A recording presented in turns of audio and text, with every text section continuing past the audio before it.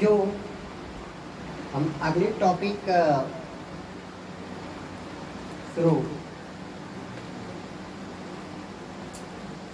करने जा रहे हैं। ठीक है? ये हमारी टॉपिक होगी विद्युत द्विध्रुव के कारण। विद्युत क्षेत्र की क्या निकालना है? तीव्रता निकालना है। ठीक है? विद्युत द्विध्रुव के कारण। तो आपका एक ये क्या हो गया? एक ये हो गया विद्युत द्विध्रुव और इसके दोनों आवेशों के बीच की दूरी। कितना ले लो आप ये इसका क्या हो गया? बीच का सेंटर हो गया। तो यहाँ से ये वाली दूरी क्या हो गई? एल हो गई। और यहाँ से ये वाली दूरी क्या हो गई? एल हो गई। तो विद्युत द्विध्रुव के कारण क्या करेंगे? किसी पॉइंट पे हम क्या करेंगे? विद्युत क्षेत्र की तीव्रता निकालेंगे। तो हमारी जो हेडिंग होगी, विद्युत द्विध्रुव के कारण, ठीक है? द्विध्रुव से आर दूरी पे क्या निकालेंगे? विद्युत क्षेत्र की तीव्रता तो क्या करेंगे? ज्ञात करेंगे। और विद्युत द्विध्रुव के कारण तीन स्थितियों में क्या करते हैं? विद्युत क्षेत्र की तीव्रता हम कैलकुलेट करते हैं। एक स्थिति क्या होती है? अक्षीय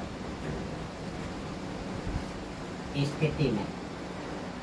दूसरी क्या होती है? निरक्षीय स्थिति में। और तीसरी क्या होती है? आर, थीटा, या किसी भी बिंदु पे, है ना? किसी भी बिंदु पर विद्युत द्विध्रुव के कारण आप क्या निकाल रहे हो विद्युत क्षेत्र की तीव्रता तो अच्छी स्थिति क्या होगी बेटा पहले आप समझना अच्छी स्थिति का मतलब क्या हो गया ये आपका हो गया विद्युत द्विध्रुव इसमें माइनस क्यू और प्लस क्यू आवे एक दूसरे से क्या है ट्वेल्व की दूरी पे हैं अब इसकी अक्षीय रेखा क्या हो जाएगी ये हो जाएगी और इसका क्या हो गया सेंटर ये हो गया। यहाँ से ये वाली दूरी आपकी क्या हो गई? एल और यहाँ से ये दूरी क्या हो गई? एल इसके केंद्र से विद्युत द्विध्रुव के केंद्र से, यानी उसके मिड पॉइंट से आर दूरी पे आर दूरी पे एक बिंदु क्या है? पी है। एक बिंदु ई है। यानी कि माइनस क्यू और प्लस क्यू आवेशों को मिलाने वाली रेखा के सिर में। अगर ये रेखा आप मिला दिए तो इस रेखा पे कोई बिंदु जो स्थित होगा, वो किस स्थिति में होगा? अच्छी स्थिति में होगा। एक्सियल लाइन में होगा। बात समझ आ गई? यानी माइनस क्यू और प्लस क्यू आवेश को क्या कर दो? मिलाते हुए एक सीधी रेखा खींच दो। वो रेखा क्या हो जाएगी? अच्छी स्थिति होगी। अब द्विध्रुव के केंद्र किससे ओ से। इसका केंद्र क्या है? ओ ओ से आर दूरी पे।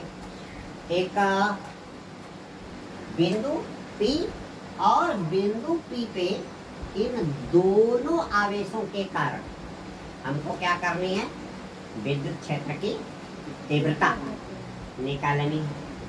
एक चीज़ आप पढ़े हो कि प्लस आवेश के कारण जो विद्युत क्षेत्र होता है, वो प्लस से क्या करता है? बाहर निकलता है। और माइनस में क्या करता है? प्रवेश करता है। ये तो आप जानते हो यानी क्या कहा? प्लस क्यू आवेश के कारण, आवेश के कारण विद्युत क्षेत्र की दिशा क्या होगी? क्या होगी आवेश प्लस क्यू से आवेश प्लस क्यू से क्या करेगी बाहर निकलेगी तो यहाँ से ये आपका प्लस क्यू के कारण जो विद्युत क्षेत्र की तीव्रता आ जाएगी वो क्या हो जाएगी इवन आ जाएगी और इसकी डायरेक्शन क्या होगी विद्युत बल रेखाएँ इससे क्या करेंगी बाहर निकलेंगे बल रेखाएँ आप पढ़े हो ना? कि किसी आवेश के कारण जो विद्युत क्षेत्र होता है उसमें खींची गई, वो काल्पनिक वक्र रेखाएँ जिस पर कोई परीक्षण धन आवेश क्या करता है? गति करता है। विद्युत बल रेखाओं की परिभाषा दी गई कि किसी आवेश के कारण जो विद्युत क्षेत्र है उस विद्युत क्षेत्र में खींची गई वो काल्पनिक वक्रीय रेखा जिस पर कोई परीक्षण धन आवेश क्या करता है? गति करता है। क्या कहलाती है? विद्युत बल रेखा कहलाती है। इलेक्ट्रिक लाइन ऑफ़ फोर्स कहलाता है। तो जो विद्युत बल रेखाएँ होती हैं, वो क्या करती हैं? प्लस आवेश से बाहर निकलती हैं। और माइनस आवेश से क्या करेंगे? वो इंटर करेंगी। तो प्लस के कारण ये विद्युत क्षेत्र की तीव्रता आपकी क्या हो गई? बाहर निकलेगी। और माइनस के कारण क्या करेगी? ये विद्युत क्षेत्र की तीव्रता क्या करेगी? माइनस क्यू में क्या करेगी? इंटर करेगी। तो यहाँ पे दोनों की डायरेक्शन क्या हो गई? एक होगी क्या अलग अलग एक ही होगी। माइनस में प्रवेश कर रही है और प्लस में क्या कर रही है? बाहर निकल रही है। और एक ऐसा निकाय जिसमें कई आवेश हो तो परिणामी विद्युत क्षेत्र की तीव्रता क्या होती है? किसी एक बिंदु पे उन अलग अलग आवेशों के कारण जो विद्युत क्षेत्र की तीव्रताएँ होती हैं, उनके क्या होता है? योग के बराबर होता है। आपको मैं पढ़ा चुका हूँ कि एक ऐसा सिस्टम जिसमें कई आवेश क्या हो? रखे गए हो। तो उस निकाय की परिणामी विद्युत क्षेत्र की तीव्रता क्या होगी? उन अलग अलग आवेशों के कारण जो अलग अलग विद्युत क्षेत्र की तीव्रताएँ आएँगी, उनका क्या होगा? योग होगा, समेशन होगा। तो यहाँ पे परिणामी विद्युत क्षेत्र की तीव्रता क्या ई आ जाएगी और ई किसके कारण? ये आपका माइनस क्यू आवेश के कारण विद्युत क्षेत्र की तीव्रता प्लस क्या हो जाएगा? प्लस क्यू आवेश के कारण। विद्युत क्षेत्र की ठीक है बेटा? यानी क्या हो गया? कैपिटल ई e, अगर इसको आप वेक्टर फॉर्म में ले लो सदिश निरूपण में। तो सदिश निरूपण में क्या करते हैं? पोजीशन वेक्टर देते हैं है ना? R one zero R two zero R three zero मैं पढ़ाया था ना? अगर एन आवेश है तो क्या हो जाएगा?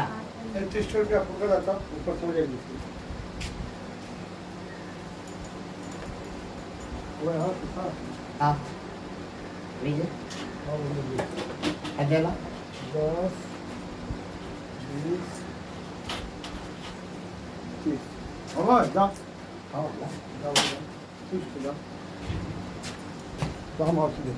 पर ठीक है?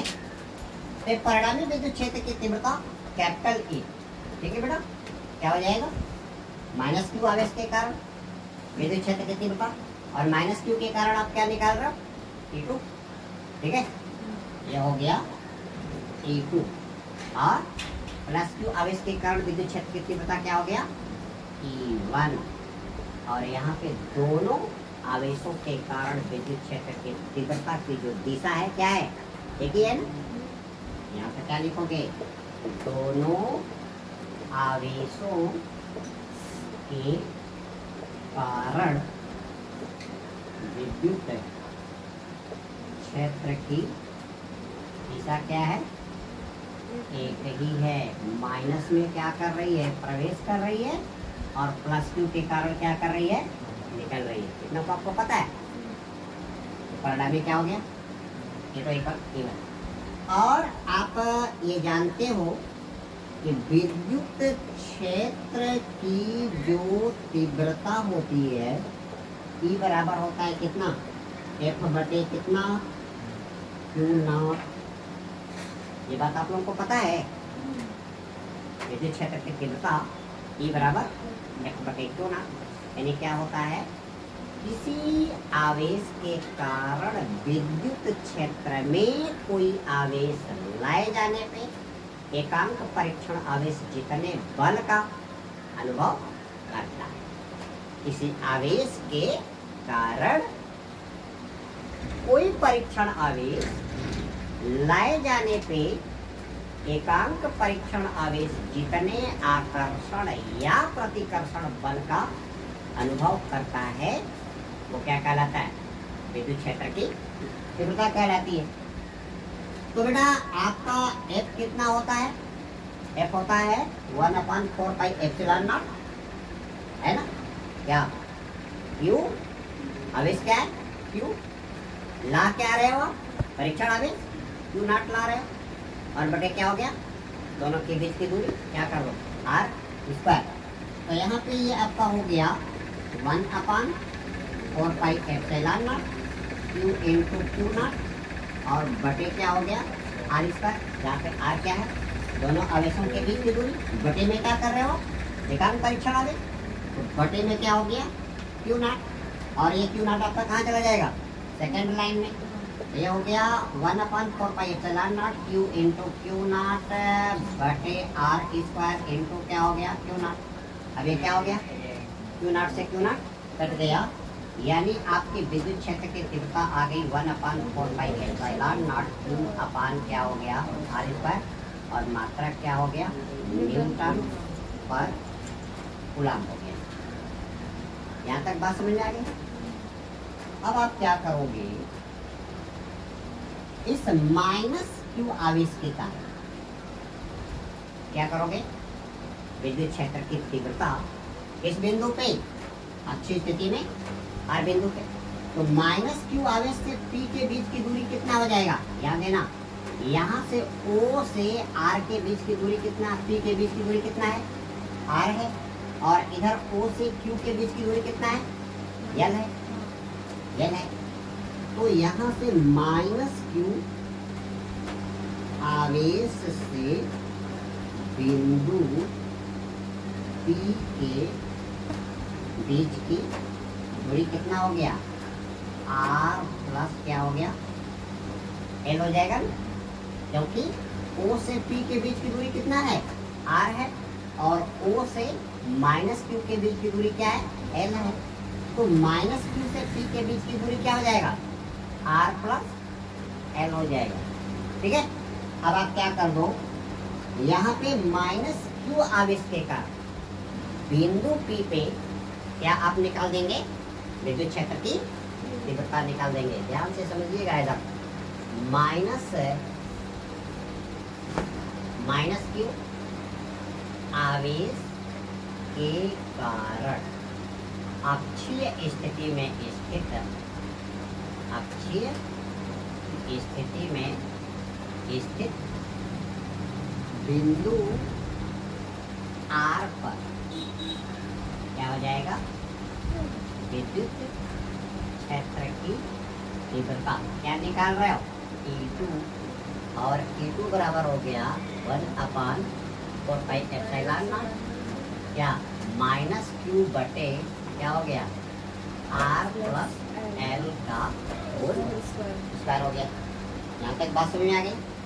अब आप क्या करोगे प्लस क्यू आवेश तो प्लस क्यू से ये दूरी कितना हो जाएगा? ओ से दूरी कितना है? आर है। और क्यू से दूरी क्या हो जाएगा? आर में से एल क्या करेगा? घट जाएगा। तो प्लस क्यू आवेश से बिंदु पी के की दूरी कितना हो गया? आर माइनस एल हो गया। तो क्या करोगे? प्लस क्यू आवेश के कारण। बिंदु पी पर क्या आप निकाल रहे विद्युत क्षेत्र की तीव्रता। क्या निकलेगी? E1 ही निकलेगी। और E1 बराबर आपका हो गया one upon four pi epsilon naught. क्या हो गया? प्लस क्यू बटे, क्या हो गया? आर माइनस एल का होल स्क्वायर हो गया। ठीक है? अब क्या करेंगे? इस निकाय के कारण, क्योंकि इस निकाय में कितने आवेश है? दो आवेश है। और दो, जब किसी निकाय में दो या दो से क्या है? अधिक आवेश हो तो परिणामी विद्युत क्षेत्र की जो तीव्रता आती है, उन सभी अलग अलग आवेशों के कारण उस बिंदु पे, है ना, विद्युत क्षेत्र की तीव्रताओं के योग के क्या होगी? बराबर होगी। तो यहाँ पे बिंदु P पे, बिंदु P पे क्या करोगे? द्विध्रुव के कारण अक्षीय स्थिति में आपकी क्या आ जाएगी? बिंदु P पे। बिंदु P पर परिणामी विद्युत क्षेत्र की तीव्रता। यहाँ पे E1 और E2 क्या है? दोनों की दिशा क्या है? एक ही है ना? दोनों की दिशा क्या है? एक ही है। तो परिणामी विद्युत क्षेत्र आपका क्या हो गया? E1 प्लस क्या हो गया? E2 और ये हो गया one upon four pi epsilon Q बटे क्या हो गया? E1 आपका क्या है? R माइनस एल का स्क्वायर है। और प्लस क्या हो गया? One upon four pi epsilon minus Q बटे आर प्लस एल का होल स्क्वायर हो गया। तो यहाँ पे आप क्या हो जाएगा? देखो, यहाँ पे क्यू इसमें भी है क्यू इसमें भी है, one upon four pi epsilon इसमें भी है, इसमें भी है। तो यहाँ पे क्या कर दो? क्यू बटे four five epsilon naught common निकाल दो। तो यहाँ पे बच गया आर माइनस एल का होल स्क्वायर और इधर आपका बच गया minus one upon R plus L का क्या हो गया? होल स्क्वायर हो गया। तो अब यहाँ पे क्या हो गया? ये Q upon four pi epsilon naught इधर आपका क्या? एक ब्रैकेट में। इसको A square minus B square कर दो ए, आपका हो गया। दोनों को क्या कर दो? गुणा करा दो। तो ये आ गया ए माइनस बी और ये क्या हो गया? ए प्लस बी तो ए माइनस बी और ए प्लस बी को गुणा कराओगे तो क्या हो जाएगा? A square minus B square हो गया। तो यह हो गया R square minus L square का क्या हो गया? होल स्क्वायर हो गया। अब यहाँ पे ये क्या बचेगा? आर माइनस एल स्क्वायर निकल गया तो क्या बचेगा? आर प्लस एल का होल स्क्वायर बचेगा? तो इधर हो गया। आर प्लस एल का होल स्क्वायर और माइनस क्या हो गया?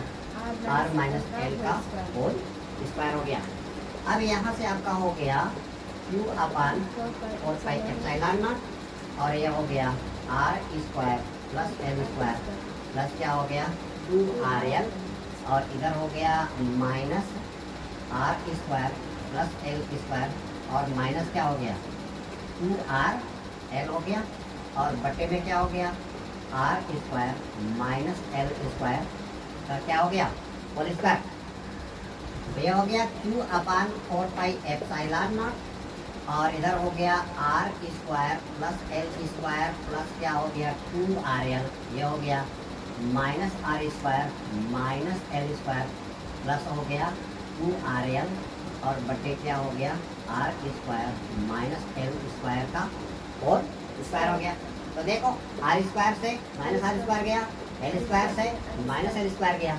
यह हो गया Q upon four pi epsilon naught, और ये हो गया फोर आर एल, और बटे क्या हो गया? R square minus L square का क्या हो गया? और स्क्वायर हो गया। अब यहाँ पे ये जो आपका मध्य बिंदु से जो दूरी आर है, ठीक है? द्विध्रुव के मध्य बिंदु से जो दूरी आर है, उसकी तुलना में एल क्या है? बहुत छोटा है। द्विध्रुव के मध्य बिंदु से जो दूरी बिंदु P की आर है, उसकी तुलना में द्विध्रुव के केंद्र से उसके आवेश के बीच की दूरी क्या है? बहुत छोटा है। तो यहाँ पे आप क्या कर दो यदि एल क्या है? आर की तुलना में बहुत छोटा हो तो एल को हम क्या रख सकते हैं? एब्सोल्युटली ज़ीरो रख सकते हैं। तो ये आपका हो गया बेटा। ई आ गया कितना? Q upon four pi epsilon naught और ये हो गया फोर आर एल बटे क्या हो गया? आर स्क्वायर माइनस ज़ीरो का होल स्क्वायर। यानी ये आ गया Q into four R L और इधर आपका बटे में क्या हो गया? फोर पाई एप्सिलॉन नॉट और ये हो गया आर के घाटे चार हो जाएगा। हो जाएगा? अब यहाँ से क्या करो?